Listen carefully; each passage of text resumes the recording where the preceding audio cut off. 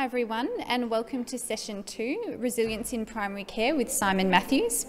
So for those that are joining um, into the primary care stream now, uh, my name is Claire Dagley and I'm the Regional Senior Manager for the Barwon Southwest region at Westvic PHN and I'll be facilitating the second session today. So we'd like to say thank you to Geelong Hospice for sponsoring this session and please remember when you have time to pop over to the sponsors lounge and browse through the individual pages. We couldn't run these events without the support of our generous sponsors. Please also take the time to have a take note, sorry, of the health pathway for this session, uh, which isn't on the screen now, but you should be able to access that, um, and there'll be as there will be information about this in the handout section. If you do have a question for Simon, please type it into the live Q&A box and I will ask as many questions as we have time for at the end of the presentation. Any general comments can be entered into the discussion forum section. I would now like to introduce Simon Matthews, who we've got dialing in virtually uh, with us today. So Simon is a psychologist and fellow of the Australasian Society of Lifestyle Medicine. He's a board certified, oh sorry, he's board certified in health coaching and lifestyle medicine. He's the CEO of Wellness Coaches Australia and Wellness Coaches Singapore and is an adjunct lecturer at Avondale University Lifestyle Medicine and Health Research Centre. In addition, Simon is a director of the US not for profit Global Positive Health Institute and a director of the Australian not for profit Practice Excellence Institute. He is also a member of the International Advisory Board for the Romanian Society of Lifestyle Medicine. Simon consults internationally in the areas of health coaching, behaviour change, positive psychology, and lifestyle medicine. When not working, he also loves talking about his other passions, such as film and, sorry, talking about his other passion as a film and TV extra, a gardener, and a self taught cook. So now I'd like to hand over to Simon Matthews. Thank you. Thank you, Claire. I appreciate that. Uh, thank you for that lovely introduction. Um, good morning, everybody. It's great to be here. Uh, just a very, very small correction. Um, I'm actually the CEO of Well Coaches Australia, not, not Wellness Coaching Australia. Well Coaches Australia and Well Coaches Singapore. Um, but uh, but thank you nevertheless, Claire. I, I, appreciate that. Great to be here. Uh, thank you, um, thank you all. So we've got uh, we've got the next hour together, and uh, I'm going to speak to you about um, we're going to speak a little bit about resilience, but there's some other things that I want to uh, I want to bring in here as well. Some things that are particularly pertinent right now. Uh, please do feel free to uh, to ask questions. I'd love to uh, to get into some dialogue with uh, with some of you around some of these uh, some of these ideas. Um, there are no, of course, silly questions here, um, and if you're asking a question, you're guaranteed, of course, to to uh, be asking it on behalf of a number of people who are also uh, probably wondering that same thing. Um, I, I, would like to take just a moment uh, before we before we get going to to uh, I'm sure you've done this already, but uh, but make my own acknowledgement of the uh, the lands on which we all are. I'm in Darkinjung country on the central coast of New South Wales, uh, about an hour north of Sydney uh, Gosford, for those of you who might know. Uh, and, uh, and I invite you, of course, to, uh, to continue to, uh, to reflect yourselves on the, the land on which you stand. Um, what I want to give you by the end of this session is, uh, is some clear ideas about, about burnout in particular uh, I want you to walk away with, uh, with a clear understanding of what that is. I want you to walk away with some clear ideas about how you can recognise it uh, and also some clear ideas about what you can do about it, both in yourselves and, and other people. The good news is that, uh, that there, there, are things that we can do and things that do make a difference. Um, people, people come back from burnout. It's not a, it's not a permanent uh, lifelong impairment. It's certainly devastating uh, to be in the midst of it. But uh, but it's not doesn't have to be lifelong. So really, I really want to embed that that message right now that, that, that there are things you can do uh, that'll make a difference for you and your colleagues and friends. That said, let's uh, let's dive uh, let's dive right in. So a quick, um, you know, the, the, times in which we're living, of course, are, new for most of us. Um, I mean, times are always new, but there are some particular things about this time that are uh, quite remarkable for most of us alive. The, the last time that we had a pandemic on this scale was, of course, 1918, the influenza pandemic. Uh, there have been other things in between that have been declared pandemics by the World Health Organization. For example, HIV is a pandemic, Ebola is a pandemic, but it doesn't seem, certainly in this part of the world, I mean, wasn't wasn't neither of those things affected us in in the same way. So we're we're living this, most of us, uh, probably all of us, actually, for the first uh, for the first time. There's some pretty unique things about this time. And um, we've got already got some research coming through about the impact of the pandemic on the mental health and well-being of various workforces. We, we've been fortunate here to, generally speaking, have relatively low levels of COVID 19 infection compared with the rest of the world. Um, despite that, we have um, some very reliable reports already that healthcare professionals are generally reporting moderate to high levels of uh, burnout. There's a, a reference there that that paper was published last year in Australian Psychiatry. Um, and for those healthcare professionals working in emergency departments and intensive care units, um, that increased to high, uh, so a high rate of burnout for those people. Um, and that, that particular paper was also published last year in the International Journal of Environmental Research and Public Health. Um, healthcare professionals, of course, are not alone in this. We're seeing similar rates of burnout amongst uh, emergency services professionals, uh, police, paramedics, firefighters, and so on. Uh, but certainly, uh, the um, the pandemic has been devastating on the healthcare workforce with respect to burnout. So, one of the questions I want to ask right now um, in relation to that um, is uh, who's actually surprised? Uh, and um, I'm, I'm guessing that no one is putting their hand up. Um, we're, we're, not actually surprised about that. Uh, if you think about all the factors and circumstances that have led uh, led to that situation, it really is no surprise that, that it's had such a devastating impact on our, uh, on our healthcare workforce. But here's the thing, and I want to establish this as a baseline straight away because it's very, very important. If you are reading this right now, and if you're here participating in this right now, then you are resilient. Um, by definition, if you are still here after two and a half years, you are resilient. And I really, really want that message to uh, to to come through very strongly. And, and I, I, really encourage you to uh, to grab a hold of that idea and um, and hang on to it. Uh, the, the fact that um, the fact that you're here means you are doing and have been doing things that have been bolstering that for you and supporting you to keep putting one foot in front of the other during very trying and difficult and unknown times. So, I really want to encourage you, um, perhaps now, perhaps some things are coming to mind for you straight away, but certainly after this session as well. I want to encourage you to reflect on what are those things that you're doing? What are those things that you're doing that are enabling you to, uh, to keep moving forward despite the really uh, challenging times that, um, that we're facing? What are you already doing uh, that's supporting you to keep moving forward? What are you already doing that's allowing you to tolerate ambiguity and uncertainty? We're going to talk more about those later. Um, these are the new resilience ambiguity or, or, tolerating ambiguity and uncertainty, and I'll say some more about that later. And what are you already doing that's driving you to continue to support and contribute to your colleagues, patients, your family, your friends, and so on? If you're still here, if you're still participating, then you are doing some of these things already. I really want to encourage you to, uh, to reflect on those. I want to spend a bit of time focused on burnout and understanding burnout. There are still mis- some misperceptions about burnout, and that's partly because we didn't really have a clear definition until relatively recently. Uh, when I was a psychologist in the mid 1990s, we talked about burnout, we, we recognised some signs of it. We also tended towards a view, I'm kind of embarrassed to say, that, that burnout represented perhaps some uh, some uh, some lack in in the individual concerned. People were experiencing burnout because they, you know, didn't didn't have what it takes to deal with the stresses of life.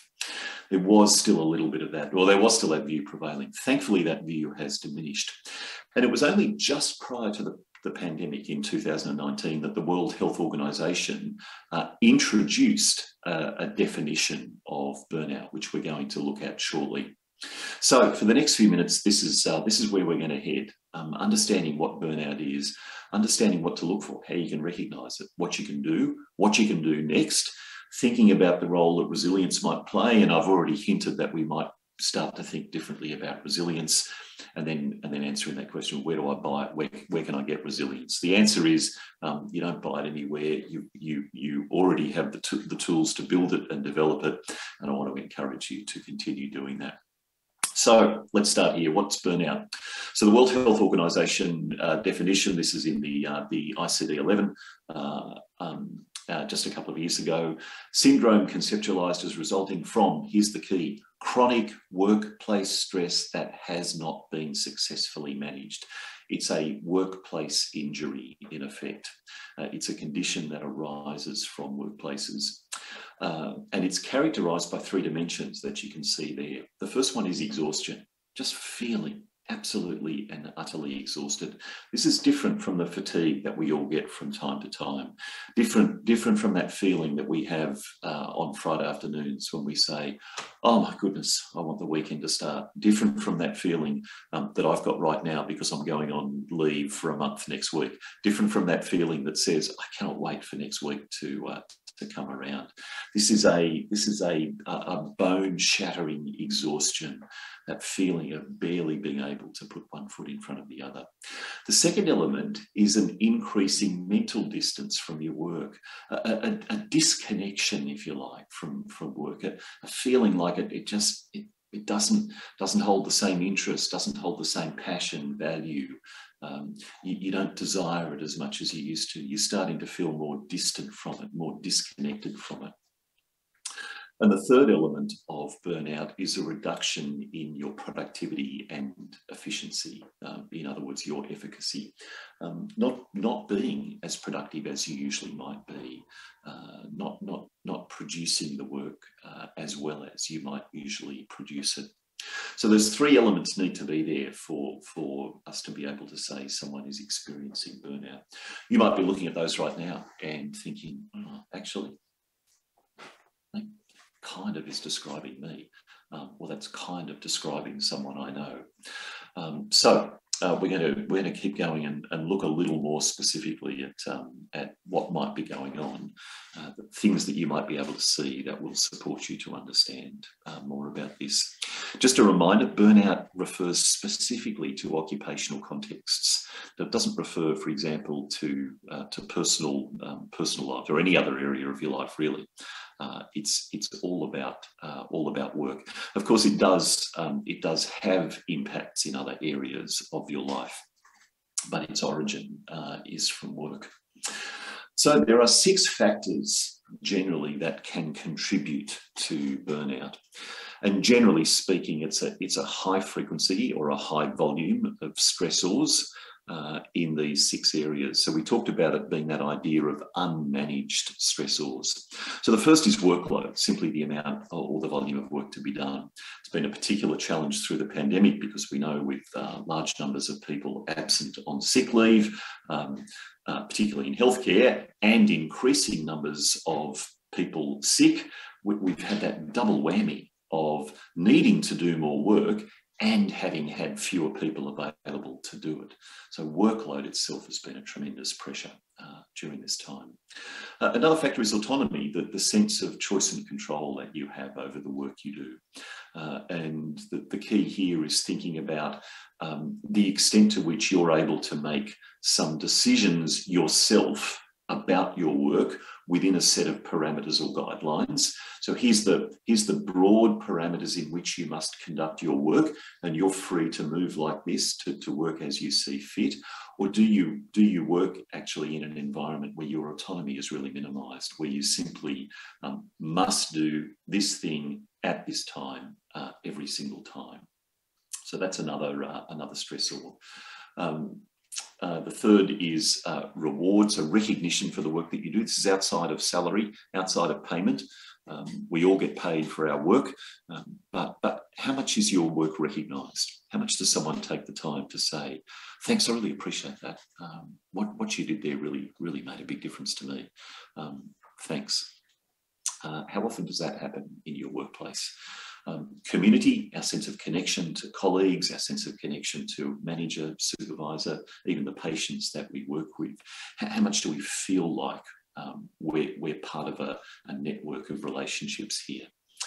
Fairness, the sense of being treated with respect, the sense of being treated with equity, same as other people. Um, looking around and feeling like what, what goes on here is fair to everyone. And importantly, for burnout to occur, the unfairness doesn't necessarily need to apply to you. Um, watching unfairness unfold and negatively impact other people can also ultimately have a negative impact on you. And then the final element is um, values, personal values, and the extent to which um, they're a good match for the organisation in which you work. The, the, sense in which your organisation, your workplace, allows you to live out those values that, that really, really matter to you, whatever they are. Uh, whether they're values of kindness or, or caring for other people or making a difference in the world or whatever it might be. Um, if your organisation um, potentiates those, then you're likely to have a good experience. If your organisation or culture is one in which it's difficult for you to express those values, then that's one of the things that can lead to that uh, over time, that, that grinding mismatch that can ultimately result in, uh, in burnout. So they're the six factors. There are some things, of course, that can exacerbate those and make them worse, or, or indeed can make them better. So, so one of those is unrealistic, unrealistic expectations. Workload is one thing, uh, but a, a, an organisation or a workplace in which the workload is high and we recognise and talk about the limited amount we can all do is different from a workplace in which the workload is high and there's still an expectation that we must get through everything. Micromanagement, that sense of having hover, someone hovering over you, um, directing every step of what you do.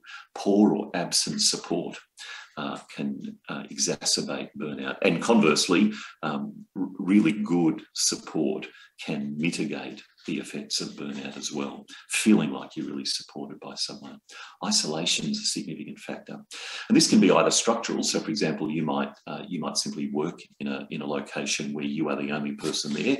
Um, that that might be by design, but isolation can also be psychological. Um, but people can be frozen out, as it were, or isolated, even though there might be a lot of bodies in that workplace. There might be a lot of people present people can still have an experience of being isolated in their work. The fifth factor which can uh, exacerbate it is poor or unclear direction about, uh, about your work and your work tasks. All of those things can work both ways, of course, um, allowing people to find their own way, the opposite of micromanagement, uh, with support can be beneficial. Um, having realistic expectations, even in the presence of those stressors, can help mitigate. Um, having some, some clear direction, clear instructions so people understand what they should be doing makes a difference to our experience of burnout. So they're the things, they're the things that can lead to it. What might it look like though? What might it look like in you and what might it look like in someone else? So a caveat here. I'm going to introduce some, uh, some signs and symptoms uh, and uh, there's always the temptation um, when you see something like this to look at something and say, oh, that's me. Um, uh, and uh, most of us would experience at least some of these things I'm going to show you at some time, of course. Uh, the, the, key here is to understand that burnout arises when we have um, a, a, combination of a number of factors from all of these areas present for a prolonged period of time. Um, kind of similar to you know the way we might think about a heart attack. Anyone ever had a pain in the chest? Yeah, I have. Ever had a pain in the neck? Yep. Pain in the arm? Sure. Um, ever felt a bit tight across the chest? Yep. Ever felt nauseated? Yep. Sweaty and shaky? Yep. Absolutely. Um, have I felt them all together at the one time? No. Uh, so all of them individually um, can mean a certain thing, but it's when they're all together that they point to a particular, uh, particular diagnosis. So signs of exhaustion, first of all, um, just looking and feeling tired. Uh, and you might, this might be your experience, it might be an experience of someone that you know. Frequent headaches, often tension headaches, you know, those headaches that, that feel like someone's put a hose clamp around the, around the top of your head and they're just tightening it down uh, all the time. Um, gastrointestinal upset can be an indicator of this exhaustion. Um, so can um, sleep disturbances, and that might be difficulty going off to sleep uh, because your mind's racing, or it might be that you get off to sleep okay, and then you wake in the middle of the morning, uh, you know, 3 a.m., and your mind's just churning uh, with all these things about work. Uh, chest tightness, shortness of breath, that, that feeling like you can't get your breath, even though you can. Um, uh, that can be an indicator of this sort of fatigue and increased substance use. And worth a reminder here that the two most commonly used substances in Australia, alcohol and caffeine. Um, one's a depressant drug, one's a stimulant drug. Uh, and it's fairly easy uh, for people to get caught in a cycle of using these in an effort to manage fatigue uh, and long term fatigue. You're waking up every morning feeling sluggish. What's a great way to get going? have a coffee. Does it work? Absolutely, it does. It's a stimulant drug.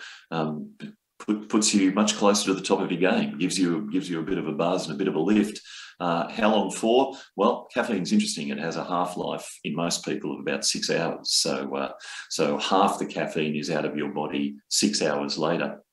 Uh, but we we start to psychologically notice that the, the effects diminish after maybe 90 minutes. So what do we do? We top up. We have another one to uh, to give us a, that other boost. Now, now that's got a half life of about six hours. So our bodies are processing caffeine much more slowly than we're taking it in. By the end of the day, if you've done that two, three, or four times, you're likely to feel a little bit uh, wired. It's a great way to wind down at the end of the day. Pour a wine. Um, the smart money would, uh, of course, pour a wine, recognise that uh, you've got about an hour there while your body metabolises that one standard drink to do some other things, some breathing, some relaxation, some meditation, go for a walk, walk the dog, uh, take a bath, anything. Um, unfortunately, we don't tend to do that. We pour a second one and a third one, and so on. So it's fairly easy for people to get caught in this uh, cycle of caffeine and alcohol in an effort to manage uh, fatigue. Uh, you might also see these indicators of negativity or cynicism in people. This relates to that, that sense of disconnection from work. People more likely to be irritable, more likely to be sensitive or overly sensitive, suspicious, suspicious of the motives of people around them. Why did they do that? Why did they say that? Why do they want me to do that? Um, they can get really rigid in their thinking. Things must be done this way. Um, I, I, just can't accommodate having to do something differently or do something new. I just don't have the mental space to process that anymore. So we must do it this way. A generally negative attitude, um, a big one in healthcare professionals, compassion fatigue. Think about the stories of the people that you deal with every single day. Um, think about not not the wound that you might be um, that you might be dressing uh, or the condition that you might be treating, but the story of the person who has that wound or that condition, and that's what leads to the compassion fatigue. And ultimately, we see people just become detached and disinvested from uh, from their workplace just, just doesn't matter anymore. Um, I just don't care about it that much, uh, can become the feeling that people have. So that's the second area, signs of cynicism. Yes, we've all had those at different times uh, in relation to different works, um, so or different uh, positions of employment. So uh, again, I want to remind you that that a single one of these um, doesn't necessarily mean anything. It's the combination of a number of these with a number of those signs from fatigue, and also a number of these other signs uh, in the area of productivity and performance uh, that might lead us to think that someone's starting to struggle with burnout. So that can be things um, like making errors in your work, leaving things out of your work, um, feeling useless and, and feeling unaccomplished it's feeling like you're not doing anything that's really that great, um, increasing absenteeism from work. which can be can be whole days off. It can be can be burning through sick leave and family leave, but it can also be things like starting to come in late and making excuses to leave early. Got an appointment to go to. I've got to go and do this. I've got to dash off early, and so on. Missing deadlines for work, um, not not finishing work, or, or generally work of a, a poorer quality than might usually be the case and just being unable to get a sense that you're really making any progress here, um, feeling like you're marking time. So, three areas exhaustion, cynicism, productivity. Um, and they, they all have some particular signs and indicators. I really want to encourage you to, to become familiar with these. These these are like, you know, for people who go off and do first aid training, these these are like those indicators of um, of cardiovascular events or strokes or or um, or you know, snake bite or spider bite or, or or toxicity and being poisoned by something. We look for those telltale signs and symptoms that say this looks like it might be pointing in this direction. Um, so we can do the same thing with burnout. Look, look for these things, be aware of them in yourself, and certainly um, be aware of them in your colleagues and friends and people that you know. There's an additional set of, of indicators that I want to introduce you to, which are called masked signs, and they're masked because they can actually look like the opposite they, they look like maybe things are going really well, but in fact they're not. And we often see masked signs in people who are high achievers. Why? Because they have a lot invested in, in looking like they're on top of everything and, and looking like they're still managing everything well. And they're these things here, people who have this kind of soldier on um, attitude or they, they have a soldier on expression on their face. They, they force a smile. And we can all tell the difference between a, a natural smile and, and a forced smile smile. Uh, they tend, rather than displaying absenteeism, they tend to display presenteeism. People who are high achievers tend to stay back late to get the work done. They come in early to get the work done. But when their productivity and their efficacy is declining all the time, they tend not to. They spend more time, but they just don't get the work done. They tend to deny that there's a problem. No, no, everything's okay. That's fine. No, no, no. I'll, I'll get up. Don't worry about it. I'm, I'm all good. Um, they, they blow you off. Um, they can be bristly and oversensitive sometimes. And sometimes they can personalize things as well. So comments that might be intended for a broad audience, um, uh, someone might take on board as relating directly to me and, and feeling like they're being singled out for, uh, for this sort of comment. So there's some extra things to be aware of as well, and, and be aware that, that some of these things can look like, wow, look at this person, you know, midst of a pandemic, they're coming in, coming in early, they're going home late, they're getting the work done, they're soldiering on, they've got a smile on their face. What a great person they are. And, and we think that this is a good thing, um, but there's a danger lurking beneath that that we need to be aware of. So, what can you do if you uh, if you become aware of those things? We, we understand what burnout is and where it comes from. We understand what it can look like in ourselves and other people. What can you do about it? Well, um, I want to encourage you first of all to reflect, um, to to to notice what you notice, and pause, step back, reflect, think about it. What am I seeing here? Um, think about um, what might the source of this be. You think about the experiences that you've had. What might the factors be that are leading to this? What might be going on in your workplace, particularly, quite apart from what might be going on in the person's life? What might be going on in your workplace that could be contributing to this? So, really take some time to reflect and, and uh, recognize what might be there. And then I want to encourage you to take a time to, uh, to reflect on what you're already doing to manage this. This is important. It's really important to recognise the things that we're already doing that are making a difference. A bit like that uh, question I posed to you at the start of this session. What are you, what are you doing that's allowing you to still be here? Then think about what you could do. Um, what are the other things that you could do? I want to put a particular challenge here in this last box on the bottom right, and that's what must you do? And the idea I want to evoke here is the idea that when we see someone struggling, we've got a moral obligation, all of us, every human being has a moral obligation to do something. uh, it's the same uh, as uh, regardless, regardless of whether you, are trained in healthcare or whether you're a nurse or medical or health practitioner.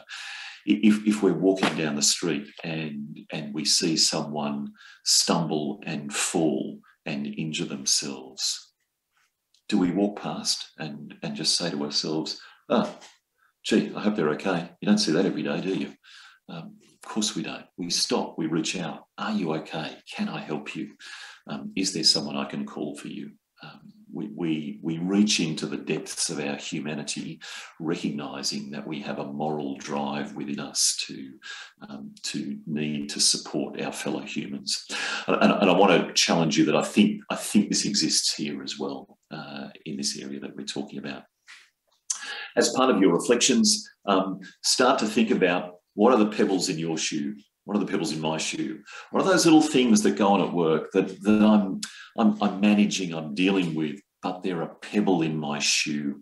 You know the story of pebbles in shoes. They're, they're an irritant and, and sometimes nothing more. However, um, what we what we often do with pebbles, first of all, when we notice them in our shoes, is we try to scrunch our toes and, and, and get the pebble into that place kind of uh, be behind your toes and in, in front of the uh, in front of the ball of your foot because you don't feel it there, do you? Um, but if you keep walking, eventually it'll slip out and it'll end up under your toe or under the ball of your foot. And if you keep walking and keep walking, that pebble will eventually start wearing the skin. It'll eventually start blistering the skin. It will eventually cause an injury and pain. When it starts causing injury and pain while you're walking, what else do you start doing?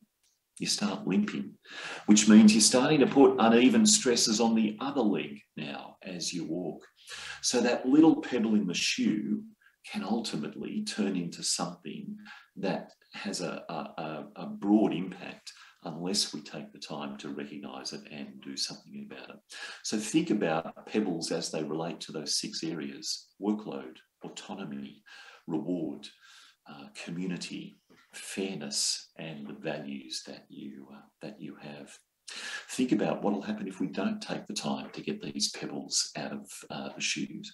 And remember that small changes make a difference. Um, how long does it take to whip your shoe off and get a pebble out? Not very long. But boy, does it make a difference when you start walking again. Feel so much more comfortable. It's worth taking the time to recognize those pebbles and to do something to get them out. There are some things we can do individually too. I want to be careful about how I set this up though, because we've said that um, we've said that burnout is a workplace issue, and I've already um, confessed to uh, some professional embarrassment back in the 1990s of being part of a you know a profession that that tended to view burnout as something that was largely the responsibility of the individual. So I don't, I certainly don't want to uh, encourage that view. Uh, it, it, burnout comes from uh, workplaces, but it does have individual uh, uh, impacts on us. And there are things that we can do to protect ourselves. The analogy I often use here is a um, is a safety belt. I, I, can't I can't see you, but I want to ask you to reflect for a moment. Um, do you put a safety belt on when you get into your car? Do you do you put your seatbelt on when you get into your car? And you're probably saying to me, "Yeah, of course I do, every, every single time." And now I'm going to ask you, "Well, why? You're a good driver, aren't you? Don't you trust your own driving?" And you're going to say to me, "Yeah, of course I trust my own driving." I don't trust the people around me. That's the problem. Same thing. Um, even though uh, burnout comes from factors around us, there are still things that we can do as individuals that will help us to, uh, to get through that better off than if we don't do those things. So the first is to have both a prevention and response mentality or mindset about this. Second is to remember the, uh, the important pillars of health and uh, well-being. Uh, and the third is to think about your identity, think about who you are. So let's start with, um, with prevention and response. Um, the analogy I, I, love to use here is, is the old um, asthma analogy. So um, I, am sure um, you're all uh, very, very familiar with this. Um, people who uh, are managing their asthma well are often using two medications. Uh, one is a medication that they use on a regular basis two, maybe three times a day, even. Uh, and the purpose of that medication is to minimize the likelihood that they're even going to experience an attack of asthma. Uh, it, it, just it reduces that likelihood right down. So it's really important to be doing that regularly. In addition, they carry another medication which can uh, reduce the severity of the signs and symptoms if they do have an asthma attack. Uh, and you probably know again from your uh, professional work that um, that people who often have poorly managed asthma tend not to use or sometimes don't use that first medication that we talked about. They don't take the time to minimize the likelihood um, that they only react to the situation when it emerges. This is really important because taking, taking that time to minimize the likelihood is one of the best defenses that we have, uh, that we all have uh, against burnout. Once you've done that, um, that doesn't guarantee that it won't occur it, it, it, does greatly reduce the likelihood and then it makes it easier to manage the symptoms if they emerge. What are some, uh, what are some things that we can do about that? Well, um, I always come back to the six pillars of health and well-being. Uh, and these are the pillars of lifestyle medicine that have been shown time and again through really robust research to make a significant difference to our overall experience of living and thriving and loving life. Um, they are things that are entirely within our control. So they're like they're like the seatbelt in the car. Um, regardless of how other people drive, you can always put your seatbelt on. Regardless of what's going on at work, you can always do these things. They don't guarantee that you won't encounter a challenge, but they do put you in a much better position to be able to deal with those challenges should they emerge. Um, the first is healthy eating, um, and uh, the, the, the, the, two things that Australians can do more than anything else to improve their diets are put more vegetables on your plate and reduce the amount of processed food um, that, that we eat. Um, those two things alone would make a, a really significant difference. But but do attend to your uh, to your eating and your diet. Um, attend to physical activity and exercise sure you're familiar with the, uh, the exercise guidelines 150 minutes, moderate intensity uh, per week. Pretty much chop it up whatever way you like. Uh, it doesn't, you can be 30 minutes, 10 minutes here, 15 minutes there, it really doesn't matter. The cumulative, uh, the cumulative amount is, is what matters here. Beyond the, um, beyond the exercise, so of course, is just the, the idea of activity, being as active as you possibly can uh, for every um, every moment that you are awake every day. Uh, and if you have a sedentary job, um, that may mean um, deliberately looking for ways to get up and move around and, and do something different. Um, finding ways to manage stress. Uh, things that you can do consistently um, that might be walking, it might be walking your dog, might be walking your dog in a particular location, might just be sitting with your dog, might be, might be stroking your dog, fantastic stress uh, stress management technique. Might be meditation, might be reading, whatever it is. Um, and there are there are so many ways um, that we all have of doing this. But find something that works for you. Um, remember that relationships are one of the best defences that we have against um, against stress. Um, the, the world's longest running uh, study in health, the Harvard Health Study, which has been going since uh, the 1930s, uh, has consistently shown the power of relationship to make a, a really substantial difference to our overall health and well-being. Um, sleep, uh, so important. Um, seven to nine hours in bed. Um, sleep hygiene, equally important. Dark room, cool room, quiet room. Um, the cool is particularly important at this time of year. It's that time of year where we all tend to have heaters and air conditioning on.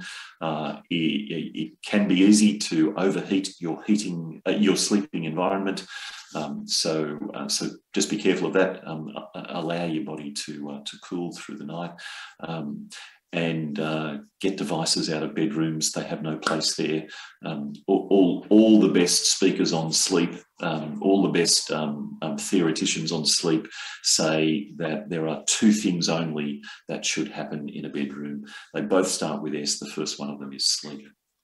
So make sure that that represents uh, that represents you. Tobacco cessation, of course, um, but I'm going to add in there substance minimisation. So being careful about those substances, particularly those two really common ones that we talked about earlier, uh, caffeine and alcohol. Um, there are others, analgesics um, and, and other substances that people might ingest as well. Um, caffeine and alcohol are the big ones. So, uh, so make sure that if you if you do enjoy caffeine and, and alcohol, that um, you're the person controlling them, not them controlling you. Uh, so taking the time to do those things uh, is a bit like wearing uh, a seatbelt taking the time also to think about who you are. If I were to ask all of you right now, you know, tell me about you, uh, tell me about yourself. One of the first things that you would probably say is, um, oh, I'm a nurse, or you know, I'm a dietitian, or I'm a, and you would insert your professional title, or perhaps the the name of your training uh, or your professional designation. There, I would do the same. Someone uh, asked me to talk about myself, I'd say, well, I'm I'm a psychologist. We we tend to hang on to that, and it's an important part of our identity. The challenge when we're starting to come face to face with burnout is that it, it threatens our identity. It threatens who we are how, how do I keep hanging on to being a nurse when being a nurse feels so awful all the time? It makes me feel so tired. I feel so negative about it. I feel so unproductive about this. That, that's a real challenge to an identity. So, one of the important things to remember there is to remember that you are much more than this. Yes, you are a nurse. Yes, you're a healthcare practitioner. Maybe you're a doctor or a dietitian or a physiotherapist or any one of those, uh, any one of those titles. But you are much, much more than that as well. You're much more than that title. You're much more than your role, your degree, your qualification. You're much more than the achievements you've made. You're, you're much more than, than your marital status or even your parental status. You're a much broader person than all of those. Take the time to think about all of those things. Uh, you might have heard, you might have heard a little uh, hint about that um, when uh, Claire introduced me. Um, when I'm not doing this stuff, I love to talk about some other things. Being a film and TV extra, um, making coffee, gardening, being a self-taught cook. Um, they're, they're minor parts of my life but they're parts that matter to me nonetheless, and I hang on to them and I see them as, as things that that help help me to define who I am. Yes, I'm a psychologist, but I'm I'm not just that. Um, I, I, can I can if I choose to put that to one side and, and recognize these other things in me as well. So I really encourage you to to have that dialogue with yourself. Who even am I? Um, who even am I right now? Uh, apart from those things that I do professionally, um, what else do I do? What else makes me up? Um, I, I, want to touch on the uh, the doctor's ABCD of burnout. Um, I, I, certainly don't want you to conflate this with uh, with the very important doctor's ABCD of, uh, of first aid. Um, but there are some steps that we can go through in a, a, a process that we can put into place that will help us to recognise it, respond to it, and move forward from it. And I want to um, I want to show that to you right now. First of all, um, identify the danger. And, and, the danger here, of course, is what will happen if we don't address this? What will happen if, if this is allowed to, to keep going, if this, if this situation keeps on going on? Ah, review that situation. Take that time to pause. You've recognised what's going on now. Now step back, reflect on it. Where's this coming from? What are the factors that are leading up to this? remember to practice those six pillars that we just talked about because they're your safety belt, they're your seatbelt. These are the things that are in your immediate control. Um, some of those workplace factors you don't necessarily have immediate control over, but these you do.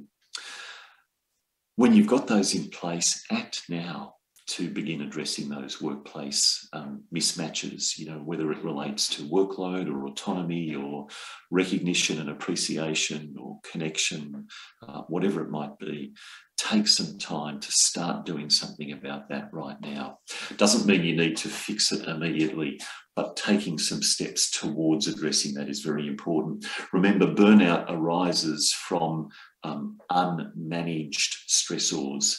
When we're making efforts to manage them, that alone often tends to mitigate the impact of burnout. You don't have to have you don't have to have um, removed the stressors altogether. And in fact, I'm going to suggest that you probably can't ever. But what you can do is work to uh, work to manage those. Build your own capacity um, for challenges. And we're going to look at that shortly. Um, checking frequently with your colleagues, of course, that's the C um, um, be, be, be that person that you would like other people to be to you. Uh, and then um, finally, develop tolerance for ambiguity, uncertainty. Um, which is really, as I said, the, the new resilience. Re resilience helps us survive, but um, but developing tolerance for ambiguity and uncertainty helps us to, to keep keep moving forward and deal with things that we don't know about yet things that we don't know about yet. Resilience is great for dealing with things that we do know about, but learning to tolerate ambiguity and uncertainty gives us a lot of flexibility for being able to deal with things that we don't yet know about. So, what can you do to do that? Well, first of all, don't see opportunity as, uh, don't see uncertainty, I should say, as a danger. See it as an opportunity to grow. See it as an opportunity to learn something new that you don't yet know. Um, Another, another strategy is to willingly take on a task without experience. Put your hand up to do something that you don't know how to do. That will throw you into uncertainty um, and um, that will allow you the opportunity to both experience that uncertainty and find your way through that task. The end result, of course, will be efficacy. I did that. I managed that um, the end result will be pride, a sense of achievement and accomplishment. Do something spontaneously, um, you know, just uh, jump in and and uh, and do do. Oh, sorry, we're just running short on time. We're pretty much needing to wrap up now, if if that's okay. Oh, sure. I'm just just about just about at the end oh, anyway. Great. So uh, yeah, yeah. Coming coming onto the last slide. Yeah. Um, do, yeah, do, do something spontaneously. Um, postpone a decision um, that, that you might normally make quickly. Look for challenges, um, put yourself in the middle of them. Change things up at, at home or in your workplace. And importantly, share that you don't know. Um, that, that can really help you to, uh, to learn to tolerate those things. They do feel uncomfortable, but that's the whole idea. Um, we want to feel uncomfortable. Um, and then finally, there's a there's a, a, a URL here. Um, where is it? Oh, there it is. Uh, there it is. Um, a URL. Um, this is a burnout inventory which you can take, um, and I encourage you if you want to, to to take it. But please remember, it's not diagnostic. It's not going to say yes, you do have burnout, or no, you don't. Um, it, uh, it will give you an indication of what you might be dealing with. If you're concerned, talk to someone about it. Um, but by all means, uh, go right ahead and take that. It's free, free to take and and uh, easy to get a hold of. Uh, and then finally, um, um, resource yourself for the challenges ahead. Black Dog Institute has some fantastic resources for health professionals, and that, that's the link on that slide uh, just there. Um, you, you'll be able to, um, you, you, can't click on these, I don't think, but uh, but you'll be able to uh, you'll be able to locate those and make use of those um, make use of those resources for yourself. There we go. Thank you. Lovely. Thank you so um, much, Simon. That was a really yeah, wonderful presentation and um, really wonderful opportunity to get some, um, I guess, prompting to reflect not only how we're feeling, but how our colleagues and others around us are. So thank you so yeah, much, absolutely. and also for the great resources you've provided at the end as well.